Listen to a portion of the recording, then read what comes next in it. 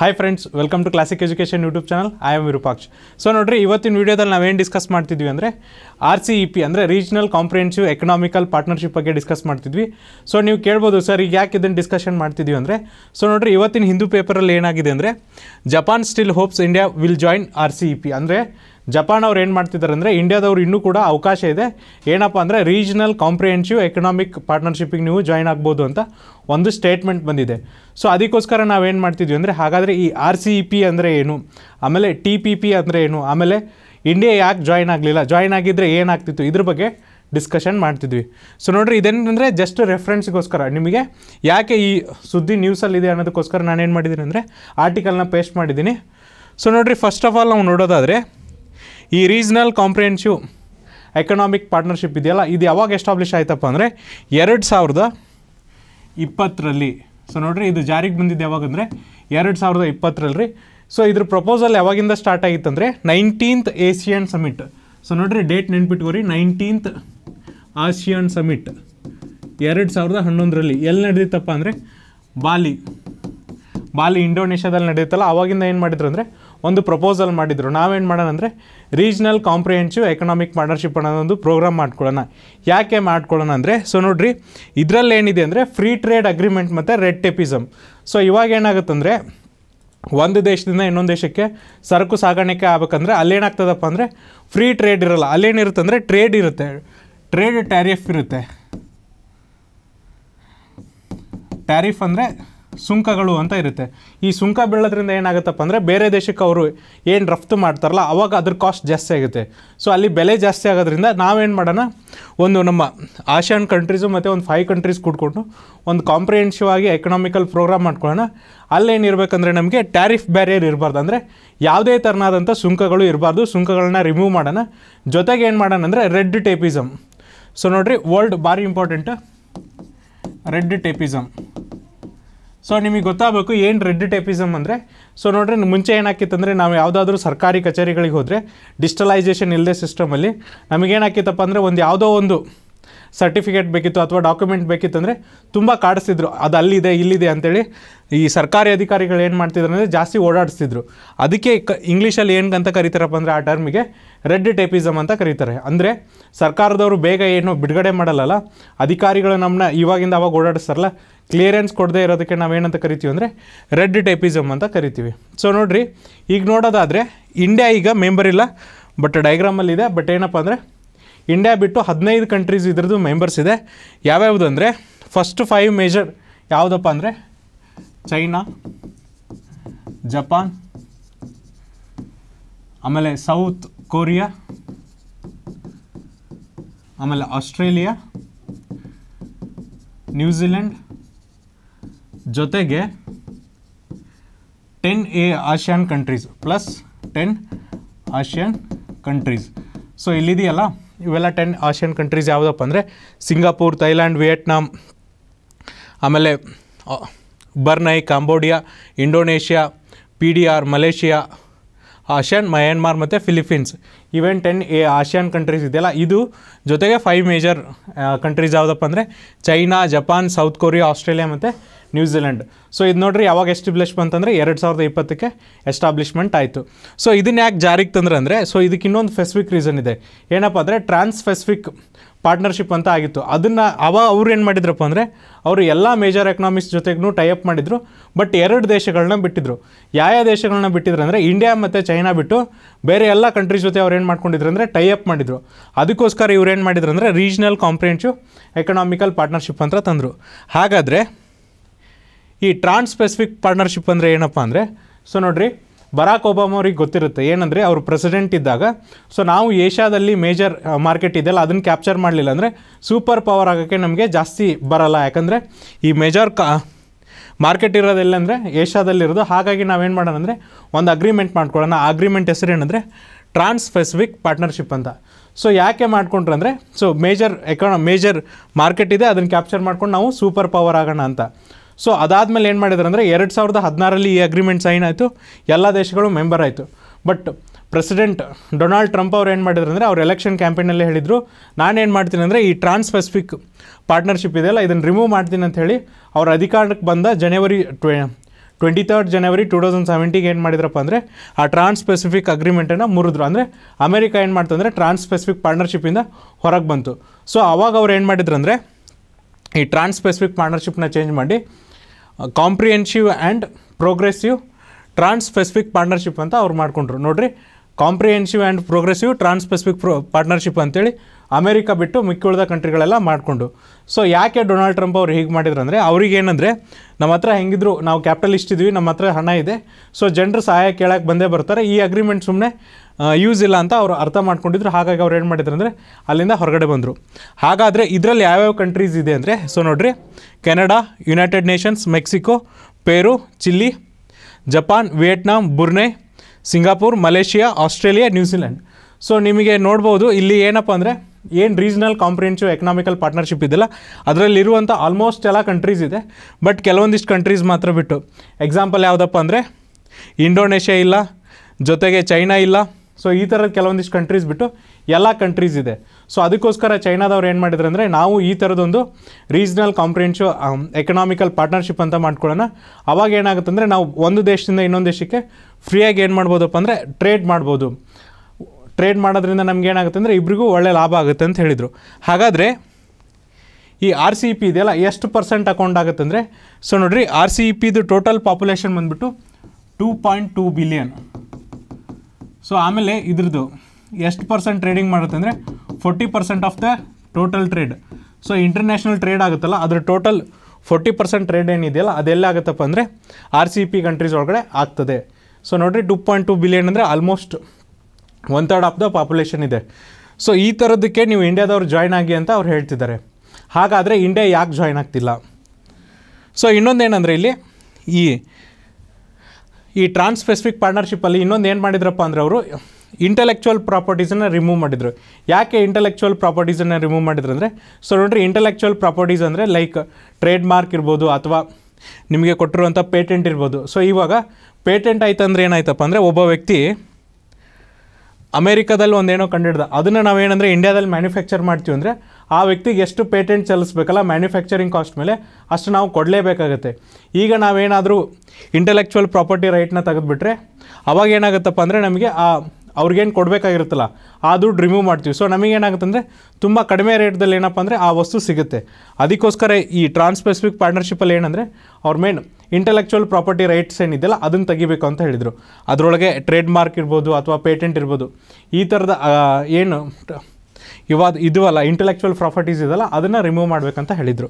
ಹಾಗಾದರೆ, ಭಾರತ ಯಾಕೆ ಜಾಯ್ನ್ ಆಗ್ತಿಲ್ಲ? ಅದಕ್ಕೊಂದಿಷ್ಟು, ಕೆಲವೊಂದಿಷ್ಟು ಕಾರಣ ಇದೆ. ಯಾಕೆ ಇಂಡಿಯಾ ಜಾಯ್ನ್ ಆಗಲಿಲ್ಲ? ಎರಡು ಸಾವಿರದ ಇಪ್ಪತ್ತರಲ್ಲೇ ಜಾಯ್ನ್ ಆಗ್ಬೋದಿತ್ತು? ಆಗಲಿಲ್ಲ ಯಾಕೆ? ಯಾಕಂದರೆ ನಾವು ಎರಡು ಸಾವಿರದ ಹನ್ನೊಂದರಿಂದನೂ ಕೂಡ ಅಬ್ಸರ್ವರ್ ಸ್ಟೇಟ್ ಆಗೇ ಇದ್ವಿ. ನಾವೇನು ನೈನ್ಟೀನ್ತ್ ಏಷಿಯನ್ ಸಮಿಟ್ ಆಯ್ತಲ್ಲ ಆಶಿಯನ್ ಸಮಿಟು ಅವಾಗಿಂದ ನಾವು ಏನಂದರೆ ಪ್ರಾಮಿಸ್ ಮಾಡ್ತಾನೆ ಬಂದಿದ್ವಿ. ಇಲ್ಲ ನಾವು ಏನಪ್ಪ ಅಂದರೆ ಆರ್ ಸಿ ಪಿಗೆ ಜಾಯ್ನ್ ಆಗ್ತೀವಿ ಅಂತ. ಬಟ್ ಏನಂದರೆ ಅಲ್ಟಿಮೇಟ್ಲಿ ಟೂ ತೌಸಂಡ್ ಟ್ವೆಂಟಿಯಲ್ಲಿ ಪ್ರೈಮ್ ಮಿನಿಸ್ಟರ್ ನರೇಂದ್ರ ಮೋದಿ ಅವರು ಏನು ಮಾಡಿದ್ರು ಅಂದರೆ, ಇಲ್ಲ ನಾವು ಆರ್ ಸಿ ಪಿಗೆ ಜಾಯ್ನ್ ಆಗಲ್ಲ ಅಂತ ಹೇಳಿದರು. ಯಾಕೆ ಆಗಲ್ಲ ಅಂದರೆ ಕೆಲವೊಂದಿಷ್ಟು ರೀಸನ್ ಇದೆ ನೋಡಿರಿ. ಅನ್ಫೇವರೇಬಲ್ ಟ್ರೇಡ್ ಬ್ಯಾಲೆನ್ಸ್ ಏನಪ್ಪ ಅನ್ಫೇವರೇಬಲ್ ಟ್ರೇಡ್ ಬ್ಯಾಲೆನ್ಸ್ ಅಂದರೆ ಸೊ ನೋಡಿರಿ, ಈಗ ನೀತಿ ಆಯೋಗದ ಪ್ರಕಾರ ಏನಂದರೆ, ನಮ್ಮ ದೇಶದಲ್ಲಿ ಎಷ್ಟು ನಾವೇನು, ಎಷ್ಟು ಏಷ್ಯನ್ ಕಂಟ್ರೀಸ್ ಇದೆಯಲ್ಲ, ಅದ್ರ ಜೊತೆ ಏನು ಮಾಡ್ಕೊಂಡಿದ್ವಿ ಅಂದರೆ ಎಫ್ ಟಿ ಎ ಮಾಡ್ಕೊಂಡಿದ್ವಿ. ಅಂದರೆ ಫ್ರೀ ಟ್ರೇಡ್ ಅಗ್ರಿಮೆಂಟ್ ಈ ಫ್ರೀ ಟ್ರೇಡ್ ಅಗ್ರಿಮೆಂಟ್ ಅಂದರೆ ಇಲ್ಲಿ ಯಾವುದೇ ಥರನಾದಂಥ ಸುಂಕ ಇರಲ್ಲ. ಅಲ್ಲಿ ಬರುವಂಥ ವಸ್ತುಗಳಿಗೆ ಯಾವುದೇ ಥರನಾದಂಥ ಸುಂಕ ಇರಲ್ಲ.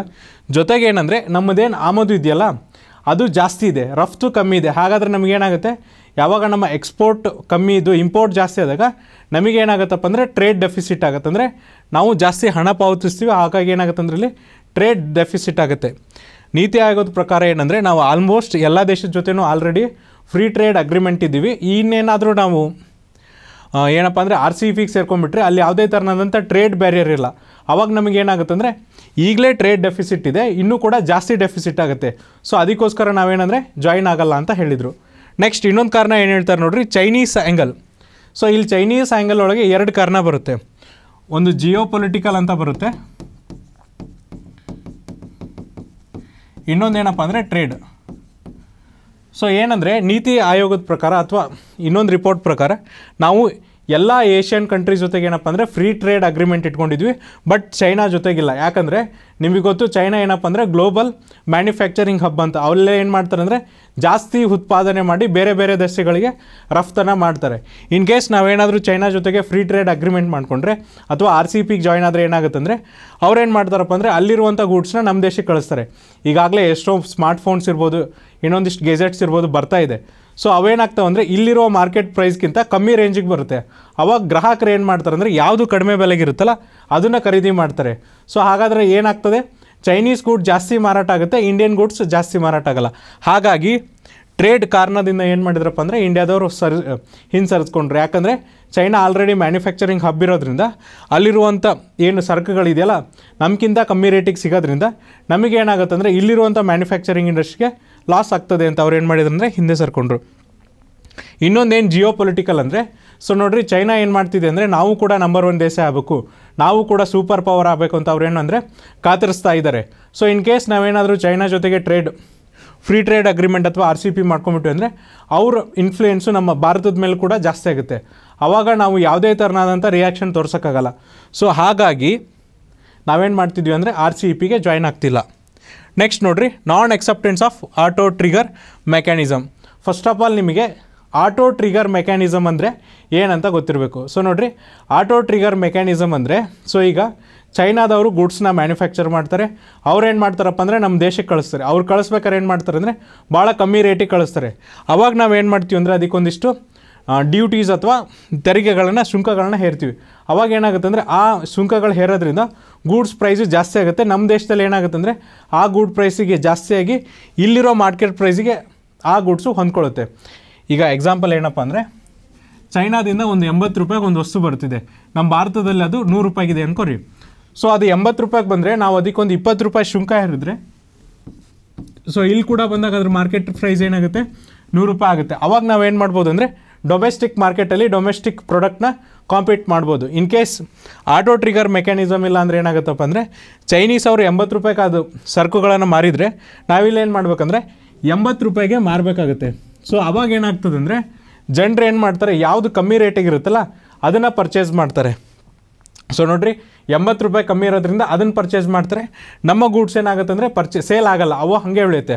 ಹಾಗಾಗಿ ಏನಂದರೆ, ಇಲ್ಲಿ ಈ ಆರ್ ಸಿ ಪಿ ಎಲ್ ಏನು ಮಾಡಿದೆ ಅಂದರೆ ಈ ಆಟೋ ಟ್ರಿಗರ್ ಮೆಕ್ಯಾನಿಸಮ್ ಇದೆಯಲ್ಲ, ಇದನ್ನು ಎಕ್ಸೆಪ್ಟ್ ಮಾಡಿಲ್ಲ. ಯಾಕೆ ಎಕ್ಸೆಪ್ಟ್ ಮಾಡಿಲ್ಲ ಅಂದರೆ ಭಾಳ ದೇಶಗಳು ಏನಪ್ಪ ಅಂದರೆ ಬೇಡ ನಮಗೆ. ಈ ಥರದ್ದು ಓಪನ್ ಮಾರ್ಕೆಟ್ ಇರಲಿ, ಅವ್ರ ಗೂಡ್ಸ್ ನಮ್ಮಲ್ಲಿ ಟ್ರೇಡ್ ಆಗಲಿ ನಮ್ಮ ಗೂಡ್ಸ್ ಅವ್ರದ್ರಲ್ಲಿ ಟ್ರೇಡ್ ಆಗಲಿ ಅಂಥೇಳಿ ಅವರು ಒಪ್ಕೊಂಡಿದ್ದಾರೆ. ಬಟ್ ನಮ್ಮ ಇಂಡಸ್ಟ್ರೀಸು ಅಷ್ಟು ಪ್ರೊಟೆಕ್ಟೆಡ್ ಇಲ್ಲ. ಯಾಕಂದರೆ ನಮ್ಮಲ್ಲಿ ಕಾಸ್ಟ್ ಆಫ್ ಪ್ರೊಡಕ್ಷನ್ ಜಾಸ್ತಿ ಇರೋದ್ರಿಂದ ಏನಾಗ್ತದೆ ಅಂದರೆ ಮಾರ್ಕೆಟಿಗೆ ಬರ್ಬೇಕಾದ್ರೆ ಪ್ರೊಡಕ್ ಪ್ರೊ ಮಾರ್ಕೆಟಿಗೆ ಬರ್ಬೇಕಾದ್ರೆ ಏನಂದರೆ, ಆ ಕಾಸ್ಟ್ ಪ್ರೈಸ್ ಜಾಸ್ತಿನೇ ಇರುತ್ತೆ. ಹಾಗಾಗಿ ನಾವೇನು ಮಾಡಬೇಕಾಗತ್ತಪ್ಪ ಅಂದರೆ ಪ್ರೊಟೆಕ್ಷನ್ ಮಾಡಬೇಕಾಗುತ್ತೆ. ಸೊ ಮೇನ್ ರೀಸನ್ ಏನಂದರೆ ಆಟೋ ಟ್ರಿಗರ್ ಮೆಕ್ಯಾನಿಸಮ್ ಸೊ ಇನ್ನೂ ಒಂದು ಕೇಳಿದ್ರೆ ಡಂಪಿಂಗ್ ಮಾಡ್ತಾರೆ ಅಂತ. ಹಾಗಾದರೆ ಡಂಪಿಂಗ್ ಅಂದರೆ ಏನು ಅಂತ ನೋಡಿರಿ. ಸೊ ನೋಡಿರಿ, ಈಗ ಫಾರ್ ಎಕ್ಸಾಂಪಲ್ ಚೈನಾದಿಂದ ಒಂದು ಗೂಡ್ಸ್ ಬರ್ತಿದೆ. ಎಷ್ಟು ರೂಪಾಯಿಗೆ? ನೂರು ರೂಪಾಯಿಗೆ. ನಮ್ಮ ದೇಶದಲ್ಲಿ ಎಷ್ಟಿದೆ? ನೂರೈವತ್ತಿಗಿದೆ. ನಾವೇನು ಮಾಡ್ತೀವಿ ಇಲ್ಲಿ? ಐವತ್ತು ರೂಪಾಯಿ ಶುಂಕ ಇರ್ತೀವಿ ಅವಾಗ ಏನಾಗುತ್ತೆ ಅಂದರೆ ಎರಡು ಈಕ್ವಲ್ ಆಗುತ್ತೆ. ಇಲ್ಲೂ ನೂರ ರೂಪಾಯಿ, ಅದು ನೂರ ಐವತ್ತು ರೂಪಾಯಿ ಈಕ್ವಲ್ ಆಯಿತು. ಬಟ್ ಚೈನೀಸ್ ಏನು ಮಾಡ್ತಾರೆ ಅಂದರೆ ಈ ಕಾಸ್ಟ್ ಪ್ರೈಸ್ನ ಇನ್ನೂ ಕಮ್ಮಿ ಮಾಡಿಬಿಡ್ತಾರೆ. ಇದನ್ನ ಎಷ್ಟು ಮಾಡಿಬಿಡ್ತಾರೆ ಅಂದರೆ ಅವರು? ಏಯ್ಟಿ ಮಾಡಿಬಿಡ್ತಾರೆ. ಸೊ ಫೈನಲ್ ಪ್ರಾಡಕ್ಟ್ ರೇಟ್ ಎಷ್ಟಾಯ್ತಪ್ಪ ನೂರು ಮೂವತ್ತಾಯಿತು ಸೊ ಇವಾಗ ಮಾರ್ಕೆಟಲ್ಲಿ ಅಗೇನ್ ಏನಾಯ್ತು ಅಂದರೆ ಮೂವತ್ತು ರೂಪಾಯಿ ನೂರ ಮೂವತ್ತು ರೂಪಾಯಿ ಮತ್ತು ನೂರೈವತ್ತು ರೂಪಾಯಿ. ಸೊ ಜನ ಏನು ಮಾಡ್ತಾರೆ? ಯಾವುದು ಕಮ್ಮಿ ರೇಟಿಗೆ ಸಿಗುತ್ತಲ್ಲ ಅದನ್ನು ತೊಗೋತಾರೆ. ಹಾಗಾದರೆ ನೂರು ಮೂವತ್ತು ರೂಪಾಯಿದು ತೊಗೋತಾರೆ. ನಮ್ಮ ಗೂಡ್ಸ್ ಏನಾಗುತ್ತೆ ಅಂದರೆ ಸೇಲ್ ಆಗಲ್ಲ. ಅವಾಗ ನಾವೇನು ಮಾಡ್ಬೋದು ಅಂದರೆ ಆ್ಯಂಟಿ ಡಂಪಿಂಗ್ ಡ್ಯೂಟಿ ಅಂತ ಇಂಪೋಸ್ ಮಾಡ್ಬೋದು. ಆ್ಯಂಟಿ ಡಂಪಿಂಗ್ ಡ್ಯೂಟಿ ಅಂದರೆ ಅವ್ರು ಯಾವಾಗ ಅವ್ರ ಕಾಸ್ಟ್ ಪ್ರೈಸ್ನ ಕಡಿಮೆ ಮಾಡ್ತಾರಲ್ಲ ನಮ್ಮ ಕಡೆ ಏನಿರುತ್ತಪ್ಪ ಅಂದರೆ ಕೆಲವೊಂದಿಷ್ಟು ಟ್ರೇಡ್ ಅಗ್ರಿಮೆಂಟ್ ಇರುತ್ತೆ. ಅದ್ರ ಪ್ರಕಾರ ನಾವೇನು ಮಾಡ್ಬೋದು ಅಂದರೆ ಇನ್ನೂ ಕೂಡ ಶುಂಕನ ಹೇರ್ಬೋದು. ಸೊ ನಾವಿಲ್ಲೇನು ಮಾಡ್ತೀವಿ ಅಂದರೆ ಮತ್ತೆ ಇಪ್ಪತ್ತು ರೂಪಾಯಿ ಶುಂಕಣ ಹೇರೋದ್ರಿಂದ ಇಲ್ಲೇನಾಗುತ್ತೆ? ಎಂಬತ್ತು ಪ್ಲಸ್ ಇಪ್ಪತ್ತು, ನೂರು ನೂರು ಪ್ಲಸ್ ಐವತ್ತು ನೂರ ಐವತ್ತಾಗುತ್ತೆ ಸೊ ಮತ್ತೆ ಏನಾಗುತ್ತೆ ಅಂದರೆ ಗೂಡ್ಸ್ ಪ್ರೈಸ್ ಈಕ್ವಲ್ ಆಗುತ್ತೆ. ಅವಾಗ ಏನಾಗುತ್ತಪ್ಪ ಅಂದರೆ ಈಸಿಯಾಗಿ ನಾವು ಕಾಂಪಿಟೇಷನ್ ಮಾಡ್ಬೋದು. ಈ ಥರದ ಕೆಲವೊಂದಿಷ್ಟು ಏನಪ್ಪ ಅಂದರೆ ಚೈನಾದ್ದು ಡ್ಯಾಂಪಿಂಗ್ ಡಂಪಿಂಗ್ ಇರ್ಬೋದು. ಆಮೇಲೆ ಇನ್ನೊಂದಿಷ್ಟು ಆ್ಯಕ್ಟಿವಿಟೀಸ್ ಇರೋದ್ರಿಂದ ಭಾರತಕ್ಕೆ ಹೆದರಿಕೆ ಇದೆ ಯಾಕಂದರೆ ಮೊದಲೇ ನಾವೇನಂದರೆ ಟ್ರೇಡ್ ಡೆಫಿಸಿಟ್ ಇದ್ದೀವಿ. ಇನ್ನೇನಾದರೂ ಫ್ರೀ ಟ್ರೇಡ್ ಅಗ್ರಿಮೆಂಟ್ ಓಪನ್ ಮಾಡಿಬಿಟ್ರೆ ಚೈನಾದವರು ಅವ್ರ ಗೂಡ್ಸ್ನ ಡಂಪ್ ಮಾಡ್ತಾನೆ ಇರ್ತಾರೆ. ಸೊ ನಮ್ಮ ಜನರು ಏನು ಮಾಡ್ತಾರೆ ಅಂದರೆ ಯಾವುದು ಕಮ್ಮಿ ರೇಟಿಗೆ ಇರುತ್ತಲ್ಲ ಅದನ್ನು ತೊಗೊಂಡು ಹೋಗ್ತಾ ಹೋಗ್ತಾ ತೊಗೊತಾರೆ ಆಮೇಲೆ ನಮ್ಮಲ್ಲಿ ಮ್ಯಾನುಫ್ಯಾಕ್ಚರ್ ಆದಂಥ ಗೂಡ್ಸ್ ನಾನ್ ಸೇಲ್ ಆಗಿ ಉಳಿಯುತ್ತೆ. ಅಂದರೆ ಮಾರಾಟ ಆಗಲ್ಲ ಅಂತ ಹೇಳ್ತಾರೆ. ನೆಕ್ಸ್ಟ್ ನೋಡ್ರಿ ಒಂದು ಏನು ಹೇಳಿದ್ದಾರೆ ಅಂದರೆ ಪ್ರೊಟೆಕ್ಷನ್ ಆಫ್ ಡೊಮೆಸ್ಟಿಕ್ ಇಂಡಸ್ಟ್ರೀಸ್ ಏನಿದು ಪ್ರೊಟೆಕ್ಷನ್ ಆಫ್ ಡೊಮೆಸ್ಟಿಕ್ ಇಂಡಸ್ಟ್ರೀಸ್ ಅಂದರೆ ಸೊ ನಿಮಗೆ ಗೊತ್ತಿರಬೇಕು ಡೈರಿ ಪ್ರಾಡಕ್ಟ್ಸಲ್ಲಿ ಆಸ್ಟ್ರೇಲಿಯಾ ಮತ್ತು ನ್ಯೂಜಿಲೆಂಡ್ ಡೈರಿ ಪ್ರಾಡಕ್ಟ್ಸ್ ಏನಿದೆಯಲ್ಲ, ಅದು ತುಂಬ ಒಳ್ಳೆ ಕ್ವಾಲಿಟಿ ಇದೆ. ಸೊ ಇವಾಗ ನಾವೇನಾದರೂ ಆರ್ ಸಿ ಪಿಗೆ ಜಾಯ್ನ್ ಆದರೆ ನಮಗೇನಾಗುತ್ತೆ ಅಂದರೆ ಫ್ರೀ ಟ್ರೇಡ್ ಅಗ್ರಿಮೆಂಟ್ ಆಗುತ್ತೆ. ಸೊ ಇಲ್ಲಿರುವಂಥ ಒಳ್ಳೆ ಕ್ವಾಲಿಟಿ ಡೈರಿ ಪ್ರಾಡಕ್ಟ್ಸ್ ಏನು ಮಾಡುತ್ತೆ ಅಂದರೆ ನಮ್ಮ ದೇಶಕ್ಕೆ ಬರುತ್ತೆ. ಸೊ ಇಲ್ಲಿ ಬಂದಾಗ ಅದೇನಾಗುತ್ತೆ ಅಂದರೆ ಜನರು ಯಾವುದು ಕ್ವಾಲಿಟಿ ಓರಿಯೆಂಟೆಡ್ ಇರುತ್ತಲ್ಲ ಅದನ್ನು ತೊಗೋತಾರೆ. ಈಗ ನಾವೇನು ಮಾಡ್ತಿದ್ವಿ ಅಂದರೆ ಎವ್ರೇಜ್ ಬಾಂಡ್ ಟ್ಯಾರಿಫ್ ಅಂತೇಳಿ. ಸೊ ನೋಡಿರಿ ಎವ್ರೇಜ್ ಬಾಂಡ್ ಟ್ಯಾರಿಫ್ ಅಂತೇಳಿ. ತರ್ಟಿ ಫೈವ್ ಪರ್ಸೆಂಟ್ನ ಹೇರ್ತಿದ್ದೀವಿ so in case free trade agreement ಅಥವಾ ಅಥವಾ ನಾವು ಆರ್ ಸಿ ಪಿಗೆ ಜಾಯ್ನ್ ಆದರೆ ಈ ತರ್ಟಿ ಫೈವ್ ಪರ್ಸೆಂಟ್ ಏನು ಹಣನ ಹೇರ್ತಿದ್ವಲ್ಲ ಅಥವಾ ಶುಂಕನ ಹೇರ್ತಿದ್ವಲ್ಲ, ಅದನ್ನು ಹೇರಂಗಿಲ್ಲ ಅದೇನಾಗ್ತದಪ್ಪ ಅಂದರೆ ಝೀರೋ ಪರ್ಸೆಂಟ್ ಆಗುತ್ತೆ. ಅವಾಗ ಏನಾಗುತ್ತೆ ಅಂದರೆ ನಮ್ಮ ದೇಶದಲ್ಲಿ ಕಮ್ಮಿ ಬೆಲೆಗೆ ಒಳ್ಳೆ ಪ್ರಾಡಕ್ಟ್ ಸಿಗುತ್ತೆ. ಸೊ ಇಲ್ಲಿರುವಂಥ ಡೊಮೆಸ್ಟಿಕ್ ಏನು ಡೈರಿ ಪ್ರಾಡಕ್ಟ್ಸ್ ಇರುತ್ತಲ್ಲ, ಅದಕ್ಕೆ ಬೆಲೆ ಕಮ್ಮಿ ಆಗುತ್ತೆ. ಯಾಕಂದರೆ ನ್ಯೂಜಿಲೆಂಡು ಮತ್ತು ಆಸ್ಟ್ರೇಲಿಯಾದಿಂದ ಬರುವಂಥ ಡೈರಿ ಪ್ರಾಡಕ್ಟ್ಸು ತುಂಬ ಒಳ್ಳೆ ಕ್ವಾಲಿಟಿದಾಗಿರುತ್ತೆ ಆವಾಗ ನಮ್ಮ ದೇಶದ ಏನಪ್ಪ ಪ್ರಾಡಕ್ಟ್ಸ್ ಏನಂದರೆ ಅದ್ರ ಜೊತೆ ಕಾಂಪೀಟ್ ಮಾಡೋಕ್ಕಾಗಲ್ಲ. ಸೊ ಹಾಗಾಗಿ ನಾವು ಡೊಮೆಸ್ಟಿಕ್ ಇಂಡಸ್ಟ್ರಿನ ಪ್ರೊಟೆಕ್ಟ್ ಮಾಡೋ ಸಂಬಂಧ ನಾವೇನು ಮಾಡ್ತಿದ್ವಿ ಅಂದರೆ ಆರ್ ಸಿ ಪಿನ ಜಾಯ್ನ್ ಆಗ್ತಿಲ್ಲ ಅಂತ ಹೇಳ್ತಿದ್ದಾರೆ. ನೆಕ್ಸ್ಟ್ ನೋಡ್ರಿ. Lack of consensus on rules of origin ಏನಿದು lack of consensus on rules of origin ಅಂದರೆ? ಫಾರ್ ಎಕ್ಸಾಂಪಲ್ ನೋಡ್ರಿ, ಮೂರು ದೇಶಗಳಿರುತ್ತೆ ಎ ಬಿ ಸಿ ಅಂತೇಳಿ. ಸೊ ಈ ಬಿ ಅನ್ನೋ ದೇಶ ಏನಂದರೆ ಎ ದೇಶದ ಜೊತೆಗೆ ಅಗ್ರಿಮೆಂಟ್ ಇರಲ್ಲ, ಯಾವುದೇ ಥರನಾದಂಥದ್ದು ಸೊ ಎ ದೇಶ ಏನು ಮಾಡುತ್ತೆ ಅಂದರೆ ಒಂದು ಗೂಡ್ಸ್ನ ಕೊಡ್ತಿರುತ್ತೆ ನೂರು ರೂಪಾಯಿಗೆ. ಸೊ ನಾವು ಅದಕ್ಕೆ ಏನು ಮಾಡ್ತಿದ್ದೀವಿ ಅಂದರೆ ನೂರ ಇದಕ್ಕೆ ಮೂವತ್ತು ರೂಪಾಯಿ ಸುಂಕ ಇರಿ, ಈ ದೇಶದ ಈ ಗೂಡ್ ಪ್ರಜೆ ಎಷ್ಟಾಗುತ್ತಪ್ಪ ಅಂದ್ರೆ ಇಲ್ಲಿ? ನೂರ ಮೂವತ್ತಾಗುತ್ತೆ ಆ ಸರಕಿನ ಬೆಲೆ ಎಷ್ಟಾಗುತ್ತೆ ಇಲ್ಲಿ? ನೂರ ಮೂವತ್ತು ರೂಪಾಯಿ ಆಗುತ್ತೆ. ಸೊ ಇಲ್ಲಿ ಎ ಮತ್ತು ಸಿ ದೇಶಗಳೇನಂದರೆ ಎಫ್ ಟಿ ಎ ಮಾಡ್ಕೊಂಡಿರ್ತವೆ. ಫ್ರೀ ಟ್ರೇಡ್ ಅಗ್ರಿಮೆಂಟ್ ಅವಾಗ ಏನಾಗುತ್ತೆ ಅಂದರೆ ಇಲ್ಲಿರೋ ಗೂಡ್ಸು ಇಲ್ಲಿಗೆ ನೂರು ರೂಪಾಯಿಗೆ ಬರುತ್ತೆ. ಸೊ ನೆಕ್ಸ್ಟ್ ಬಿ ಮತ್ತು ಸಿ ಕೂಡ ಏನಂದರೆ ಫ್ರೀ ಟ್ರೇಡ್ ಅಗ್ರಿಮೆಂಟ್ ಮಾಡ್ಕೊಂಡಿರುತ್ತೆ. ಇಲ್ಲಿ ಎ ಮತ್ತು ಸಿ ಹೇಗೆ ಫ್ರೀ ಟ್ರೇಡ್ ಅಗ್ರಿಮೆಂಟ್ ಆಗಿದ್ದಿಲ್ಲ ಅದೇ ಥರನಾಗಿ ಬಿ ಮತ್ತು ಸಿ ದೇಶಗಳು ಮತ್ತು ಏನಂದರೆ ಫ್ರೀ ಟ್ರೇಡ್ ಅಗ್ರಿಮೆಂಟ್ ಆಗಿರುತ್ತೆ. ಸೊ ರೂಲ್ಸ್ ಆಫ್ ಒರಿಜಿನ್ ಇಲ್ಲ ಅಂದರೆ ಈ ನೂರು ರೂಪಾಯಿ ಗೂಡ್ಸ್ನ ಅವರು ಏನು ಮಾಡ್ಬೋದಪ್ಪ ಅಂದರೆ ನಮ್ಮ ದೇಶಕ್ಕೆ ಮಾರ್ಬೋದು. ಅವಾಗ ಏನಾಗ್ತದೆ ಅಂದ್ರೆ ಇಲ್ಲಿ ಈ ಗೂಡ್ ಎಷ್ಟಕ್ಕೆ ಬರುತ್ತಪ್ಪ? ನೂರು ರೂಪಾಯಿಗೆ ಬರುತ್ತೆ. ಸೊ ಡೈರೆಕ್ಟಾಗಿ ಬಂದರೆ ಆ ಗೂಡ್ ಆ ಸರಕ್ಕೆ ಎಷ್ಟಕ್ಕೆ ಬರುತ್ತೆ? ನೂರು ಮೂವತ್ತಕ್ಕೆ ಬರುತ್ತೆ. ಬರದೆ ಇಂಡೈರೆಕ್ಟಾಗಿ ಬಂದರೆ ಎಷ್ಟು ರೂಪಾಯಿಗೆ ಬರುತ್ತೆ? ನೂರು ರೂಪಾಯಿಗೆ ಬರುತ್ತೆ. ಈ ಥರದ ಕೆಲವೊಂದಿಷ್ಟು ಆ್ಯಕ್ಟಿವಿಟೀಸ್ನ ತಡೆಯೋದಕ್ಕೋಸ್ಕರ ಏನಂದರೆ ನಾವು ಆರ್ ಸಿ ಪಿನ ಜಾಯ್ನ್ ಆಗಿಲ್ಲ. ಸೊ ನೋಡಿರಿ ಏನು ಏನಂದರೆ ಅದೇ ಯಾವ ಪ್ರಾಡಕ್ಟ್ ಯಾವ ದೇಶದಲ್ಲಿ ಒರಿಜಿನ್ ಆಯಿತು, ಅಲ್ಲಿಂದ ಬಂದರೆ ಏನಂದರೆ ಅದಕ್ಕೆ ಟ್ಯಾರಿಫ್ ಅಂತ ಇರುತ್ತೆ. ಬಟ್ ಇಂಡೈರೆಕ್ಟಾಗಿ ಇನ್ನೊಬ್ಬರು ದೇಶದವರು ಆ ಪ್ರಾಡಕ್ಟ್ನ ತೊಗೊಂಡು ನಮ್ಮ ದೇಶಕ್ಕೆ ಮಾರೋದ್ರಿಂದ ನಮಗೆ ಲಾಸ್ ಆಗುತ್ತೆ. ಯಾಕಂದರೆ ನಾವು ಆ ದೇಶದ ಜೊತೆಗೆ ಏನು ಮಾಡಿದ್ದೀವಪ್ಪ ಅಂದರೆ ಆಲ್ರೆಡಿ ಫ್ರೀ ಟ್ರೇಡ್ ಅಗ್ರಿಮೆಂಟ್ ಮಾಡ್ಕೊಂಡಿರೋದ್ರಿಂದ ಅವರಿಗೆ ಏನಂದರೆ ನಾವು ಟ್ಯಾರಿಫ್ ಕನ್ಸೆಷನ್ ಕೊಟ್ಟಿರ್ತೀವಿ. ಅಂದರೆ ಯಾವುದೇ ಥರನಾದಂಥ ಶುಂಕ ಇರಲ್ಲ. ಹಾಗಾಗಿ ಅವರು ಏನು ಮಾರಾಟ ಮಾಡ್ತಾರಲ್ಲ ಬೆಲೆ ಅದು ಭಾಳ ಕಮ್ಮಿ ಇರುತ್ತೆ. ಇದಕ್ಕೋಸ್ಕರ ಏನಾಗುತ್ತಪ್ಪ ಅಂದರೆ ಇಲ್ಲಿ ನಮಗೆ ಲಾಸ್ ಆಗುತ್ತೆ. ಈ ಎಲ್ಲ ರೀಸನ್ಗೋಸ್ಕರ ಏನಂದರೆ ಇಂಡಿಯಾ ಆರ್ ಸಿ ಇ ಪಿನ ಜಾಯ್ನ್ ಆಗಿಲ್ಲ. ಹಾಗಾದರೆ ಭಾರತ ಆರ್ ಸಿ ಇ ಪಿನ ಜಾಯ್ನ್ ಆಗಿದ್ದರೆ ಏನಾಗ್ತಿತ್ತು ಅಂತ. ಸೊ ನೋಡಿರಿ ನೀಡ್ ಫಾರ್ ಎಕನಾಮಿಕ್ ರಿಯಾಲಿಸಮ್ ಯಾಕೆ ಎಕನಾಮಿಕ್ ರಿಯಾಲಿಸಮ್ ಅಂದರೆ ಸೊ ನೋಡಿರಿ ಇದೇನು ಅಗ್ರಿಮೆಂಟ್ ಆಗ್ತಿದೆಯಲ್ಲ, ಇದೇನು trading ಆಗ್ತಿದೆಯಲ್ಲ forty percent of the global trade ಏನಾಗ್ತಿದೆಯಪ್ಪ ಅಂದರೆ ಆರ್ ಸಿ ಪಿ ರೀಸನ್ ಒಳಗೆ ಆಗ್ತಿದೆ. ಸೊ ಇಂಡಿಯಾ ಇನ್ ಕೇಸ್ ಹೋಗಿದ್ರೆ ಫ್ಯೂಚರಲ್ಲಿ ನಮ್ಮ ಡೊಮೆಸ್ಟಿಕ್ ಇಂಡಸ್ಟ್ರಿ ಚೆನ್ನಾಗಾಗಿದ್ದರೆ ನಾವೇನು ಮಾಡ್ಬೋದು ಅಂದರೆ ಬೇರೆ ದೇಶದೊಳಗೆ ಜೊತೆಗೆ ಇನ್ನೂ ಚೆನ್ನಾಗಿ ಏನು ಮಾಡ್ಬೋದಪ್ಪ ಅಂದರೆ ಟ್ರೇಡಿಂಗ್ ಮಾಡ್ಬೋದು ಅಥವಾ ಸರಕುಗಳನ್ನು ಮಾರಾಟ ಮಾಡ್ಬೋದು. ಅದಕ್ಕೋಸ್ಕರ ಏನು ಹೇಳಿದ್ದಾರೆ ಅಂದರೆ ಎಕನಾಮಿಕ್ ರಿಯಲಿಸಮ್ ಅಂತ ಹೇಳಿದ್ದಾರೆ. ಯಾಕೆ ರಿಯಲಿಸಮ್ ಅಂದರೆ ನಲ್ವತ್ತು ಪರ್ಸೆಂಟ್ ಆಫ್ ದ ಗೂಡ್ಸ್ ಏನು ಟ್ರೇಡ್ ಆಗುತ್ತಲ್ಲ ಅದು ಗ್ಲೋಬಲಿ ಅದೆಲ್ಲಿದೆಯಪ್ಪ ಅಂದರೆ R C E P reason ಒಳಗಿದೆ. Next ನೋಡಿರಿ ಸ್ಟ್ರಾಟಜಿಕ್ ನೀಡ್ ಏನು ಸ್ಟ್ರಾಟಜಿಕ್ ನೀಡ್ ಅಂದರೆ ಸೊ ನಾವು ಯಾವುದಾದ್ರೂ ದೇಶದ ಜೊತೆಗೆ ಒಂದು ಒಳ್ಳೆ ಅಗ್ರಿಮೆಂಟ್ ಅಥವಾ ಫ್ರೀ ಟ್ರೇಡ್ ಅಗ್ರಿಮೆಂಟ್ ಮಾಡಿಕೊಂಡ್ರೆ ಇನ್ ಕೇಸ್ ಯುದ್ಧ ಆದಾಗ, ಈಗ ನೋಡ್ರಿ ಫಾರ್ ಎಕ್ಸಾಂಪಲ್ ಏನಾಯ್ತು ಅಂದರೆ ರಷ್ಯಾ ಮತ್ತು ಯುಕ್ರೇನ್ ಯುದ್ಧ ಆಯಿತು ಆಲ್ಮೋಸ್ಟ್ ಏನಂದರೆ ಕ್ರೂಡ್ ಆಯಿಲ್ ಪ್ರೈಸ್ ಜಾಸ್ತಿ ಆಯಿತು. ಈ ಥರದ ಅಗ್ರಿಮೆಂಟ್ ನಾವು ಮಾಡ್ಕೊಂಡಿದ್ರೆ ಅಂಥ ಎಮರ್ಜೆನ್ಸಿ ಕ್ರೈಸಿಸ್ ಟೈಮಲ್ಲಿ ಏನಾಗ್ತದಪ್ಪ ಅಂದರೆ ಅವರು ನಮಗೆ ಅದೇ ಬೆಲೆಗೆ ಮಾರ್ತಾರೆ. ಸೊ ಇವಾಗ ಏನಾಗ್ತಿದೆ ಅಂದರೆ ಆಯಿಲ್ ಮತ್ತು ಅದರ್ ಪ್ರೈಸಸ್ ಏನಾಗ್ತಿದೆ ಅಂದರೆ ಶೂಟ್ ಆಗಿಬಿಟ್ಟಿದೆ, ಅಂದರೆ ಜಾಸ್ತಿ ಆಗಿದೆ. ಸೊ ಅದ್ರ ಬರ್ಡನ್ ಕಾಮನ್ ಪೀಪಲ್ ಅಂಡರ್ಸ್ಟುಡ್ ಮಾಡ್ಕೊಂಡಿದ್ದಾರೆ.